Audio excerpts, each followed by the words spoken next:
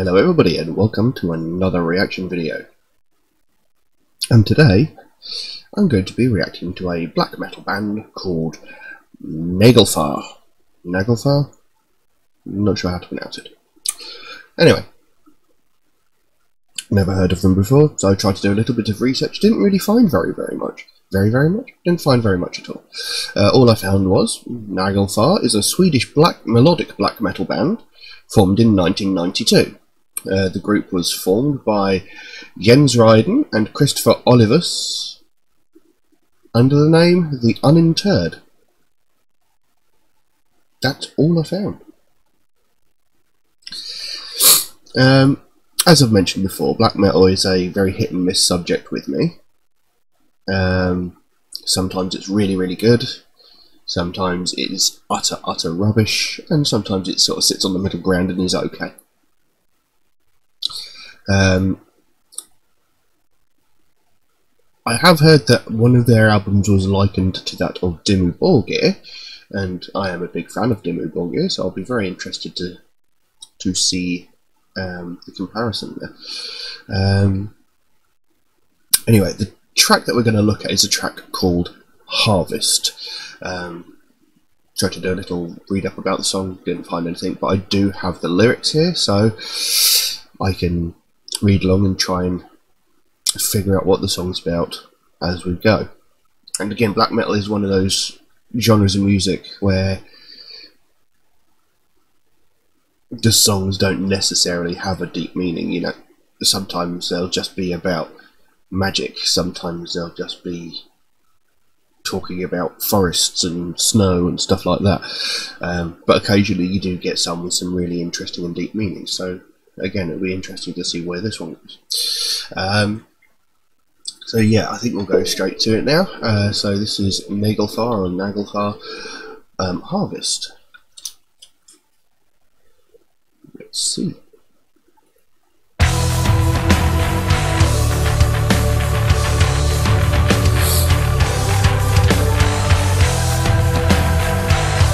That bass.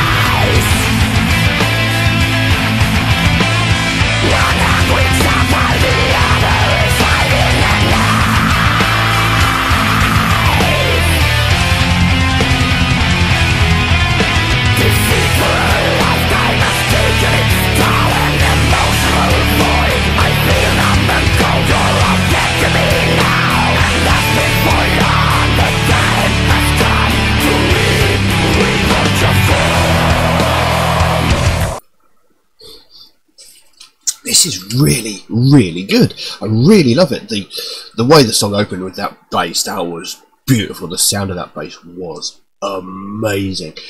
And the music itself is really, really good. It's going to sound really weird, but in a certain way, I think it might just be the tone of the guitar. It sounds a little bit like Nocturnus, um, but that might just be the tone of the guitar itself. But it's a brilliant piece of music. I love the way it's been. Um, can't think of the word. You know the the the layout of the song. I love it, and the way that as they go through the song, there's that sort of dramatic pause. You know, it's sort of like duh, duh, dun, duh, you know, and carries on. You know, I love that dramatic pause in there. This this worked brilliantly. Um, it is it's it's amazing. I really do like this. I very rarely get this excited over black metal.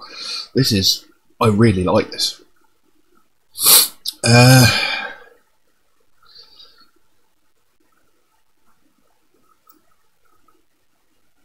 I'm not entirely sure what the track itself is about. Um, it looks, in a way, like he's talking about talking about God being not as good as people think he is, if that makes sense. Um, the track opens with Behold the crown of creation, worthy of nothing but scorn, failed abortions that never should have been born, liars, two faced, spiteful, and vile, your true self well hidden behind a poisonous smile. So, Behold the crown of creation, to me, suggests God. Or, you know, what people believe was the creator of the universe, anyway. However incorrect that might be. Anyway, um, so behold the crown of creation, worthy of nothing but scorn. So this is God. He may he may have created everything, but really he's a bit of a you know worthy of nothing but scorn. So he might have created all of this, but look at all the bad stuff he's done as well. Um, failed abortions that never should have been born. So like you know, God might be a great man, so why is he allowing children to be born like severely like mutated, uh, disabled, um, no, like disabled, so, you know, stillborns. You know, why is if God is good and God loves all of His children, why is He allowing people to suffer? Um, you know, that sort of thing and he says, two faced, spiteful, and vile, your true self well hidden behind a poisonous smile. Smile. so I've still got a bit of a cold, so I can't speak properly. Um, it, again, two faced, spiteful, and vile. So he espouses like the virtues of what he thinks is right. It's like, you know, love thy neighbour, and then it's like two men get together. Well, don't love each other that much you know, all men are created equal unless they're gay, unless they're, you know, he's he's a hypocrite. So, you know, uh, and it's like your true self well hidden behind a poisonous smile. So it's like everybody who believes in like these religions and stuff only reads the stuff that they want to believe to paint everything in a good light rather than actually looking into all the bad stuff that's actually happened. I mean, if you actually look into the Bible, God Himself has killed more people than anyone. Throughout the Bible, uh, He has killed millions of people. Satan only killed about 10. And they say that Satan's the bad guy.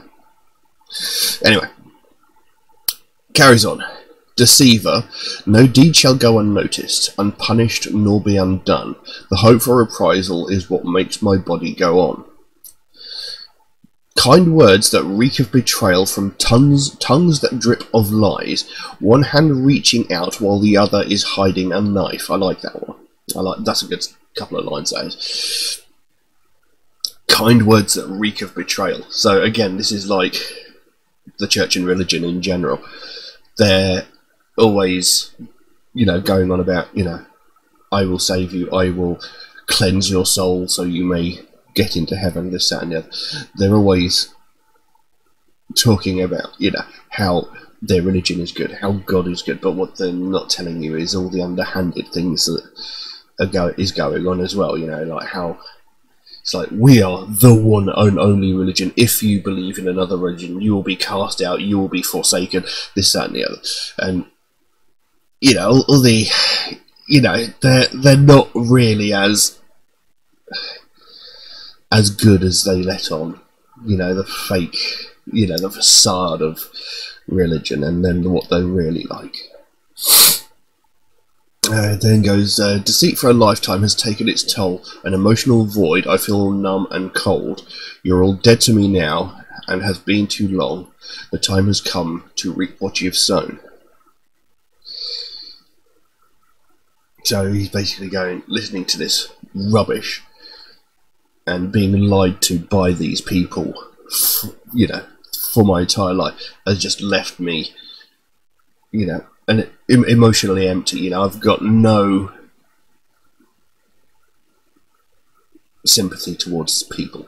Um, you know, you, you, might as well all be, you know, you, are all dead to me because what you're talking about is utter rubbish. You're preaching rubbish, and you're basically hypocrites and liars. And I couldn't get about you, basically. Um, so yeah, interesting. It's a really good track. That I really do like it. Let's let's carry on.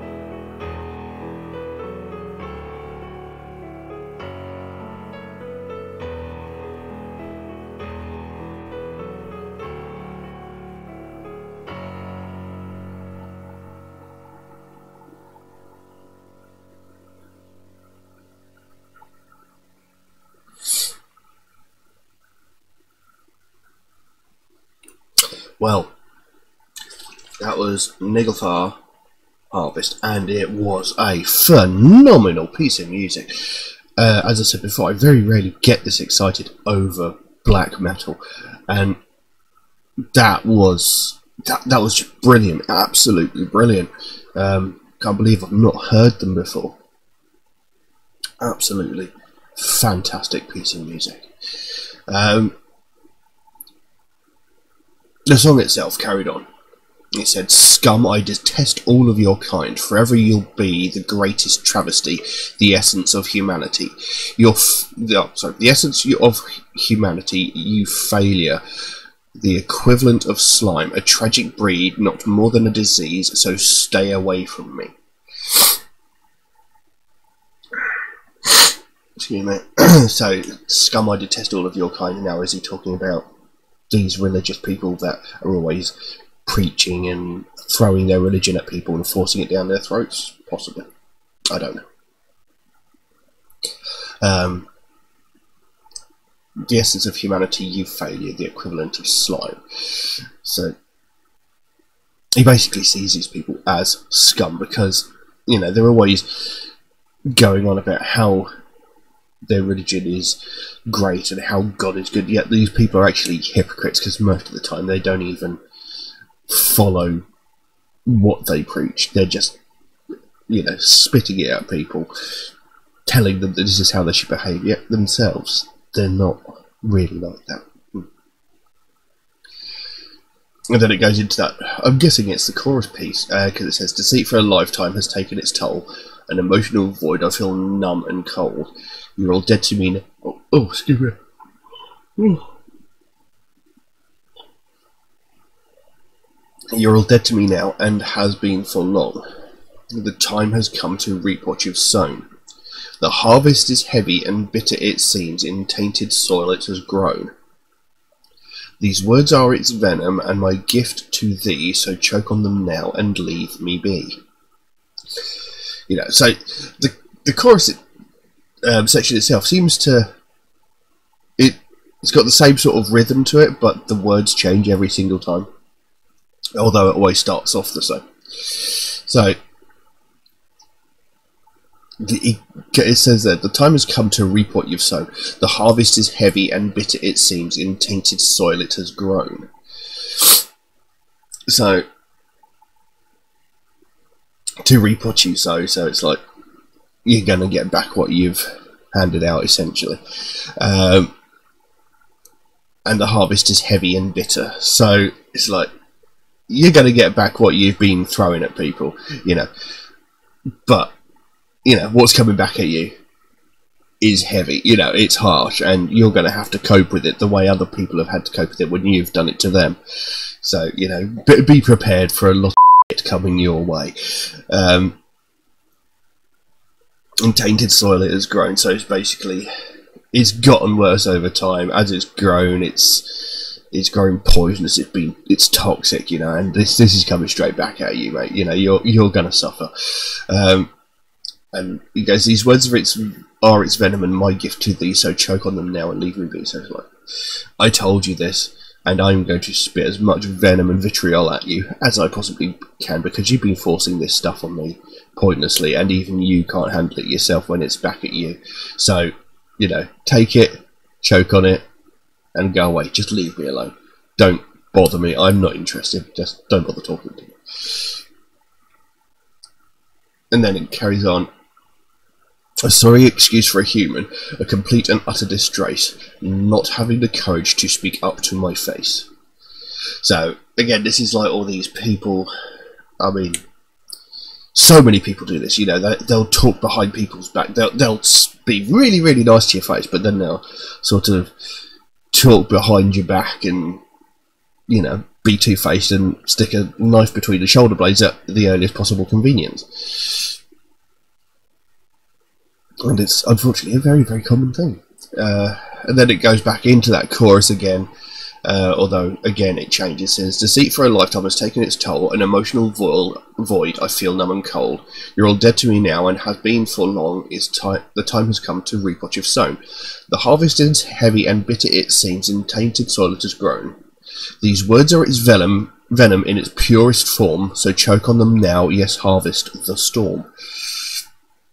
So, that those last couple of lines, these words are its venom in its purest form, so choke on them now, yes, harvest the storm. So it's like, there is a storm coming your way, pal, and you are going to have to deal with every bit of it because it's it's your own fault. You started it. It's all everything that you've said and everything that you've done that's coming your way, and you know you've got no one to blame but yourself. you know, so um, yes, it might not necessarily about be about religion or God itself as I initially thought. I can't be hundred percent certain, um, but it is still a really good song. It's really really enjoyable. I thoroughly, thoroughly enjoyed it. You know, I got really excited about it. The music to it was phenomenal. The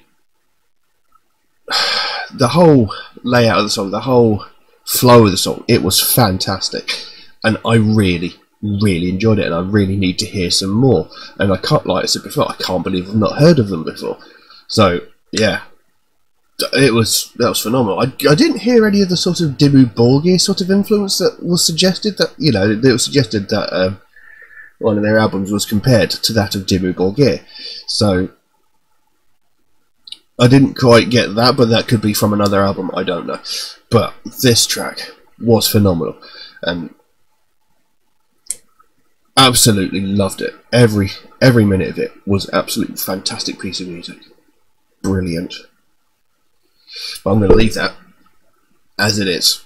Um, if anybody else would like to suggest a track for me to react to, then please do so by all means. You can drop a comment in the comment section below or message me on my Facebook or my Instagram. The links for those are in the description down there. Um, do know though that it will take a while for me to get to your suggestion because you know I get suggested many many tracks every single day uh, as so my list grows quicker than I can record the videos. So I, I, do write down every suggestion I get given. Every single suggestion I get given is written down. So it will be recorded at some point. It will just take a while to get to it.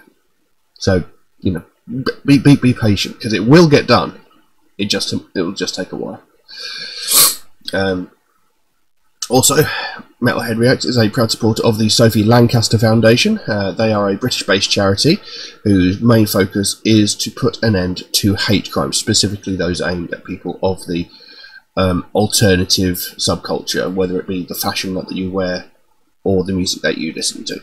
Um, obviously, they want to put an end to all hate crimes, but that one is their main focus. Um, I think that it's definitely a charity that's worth looking into. It's something that needs more recognition because you know every single day we hear about all these other hate crimes. You know, we hear about racism, we hear about sexism, we hear about homophobia, transphobia, we hear about religious hatred, we hear all these sorts of things every single day, and all of those are hate crimes. But what we don't hear about